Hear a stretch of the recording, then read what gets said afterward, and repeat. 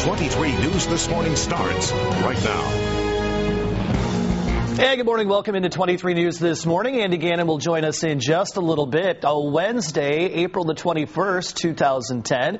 Let's have a look at our forecast details here. And as far as the radar picture goes, nothing happening just yet. But later on today, we've got a very slight chance we could see a shower or two pop into the mix. Maybe even a rumble of thunder. Right now pegged at 20%.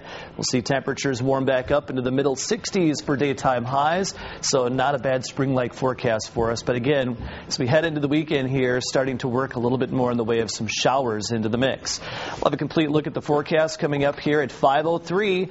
Stay with us. Much more coming up in just a little bit. I'm not sure my battery's working yet or my microphone. Mic check, working. mic check, testing one, two, three. All Still right. doesn't seem you to be working. Some news.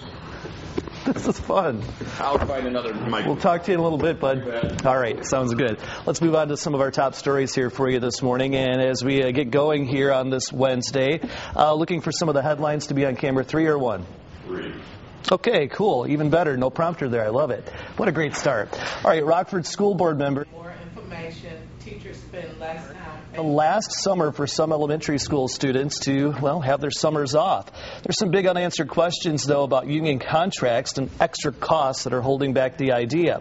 Lewis Lemon principal Teresa Harvey presented a PowerPoint along with 156 parent signatures and about 15 staff signatures to the Education Committee last night. Now, while Harvey covered transportation costs and calendar proposals, the school break scheduling, the committee also wanted to see a little bit more before giving its approval. Despite the request, members seem extremely supportive of the second year of a round school there in District 205. And one of the board members says that she'll do all she can to see that it happens. I would like to see more year-round schools. I really would. I also would like to see a middle school component. I am a proponent, and I will push for it. And if they need my help, I'll be happy to give it to them.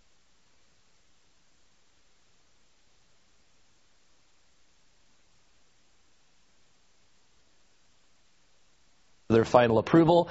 In order to expedite the approval process, the full board will receive a preliminary paper report, and that proposal is due on Friday. All right, also Rod Blagojevich in the news.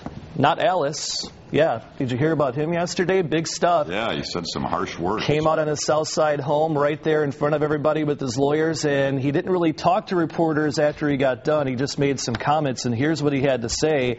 He's pretty darn mad at that U.S. Attorney Fitzgerald, and he had some comments such as this last week in their proffer of lives, they're now hitting below the belt and attacking my wife. That was the governor right there with a swarm of media around his Southside home as he uh, basically said he wants to see the U.S. Attorney Fitzgerald in court today, called him a coward, and said that he completely understands how dirty politics can be. After he made his comments, he quickly went back inside, answering no questions from reporters. Blagojevich expected to be at that hearing that they have set up today. 5.03 our time. Should we just head on to weather here? Let's do some weather. well, let's let the open roll. Now, weather on the threes from 23 News.